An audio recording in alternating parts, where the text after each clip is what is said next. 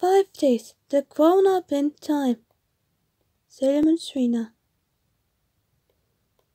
Has nobody crying anything wrong.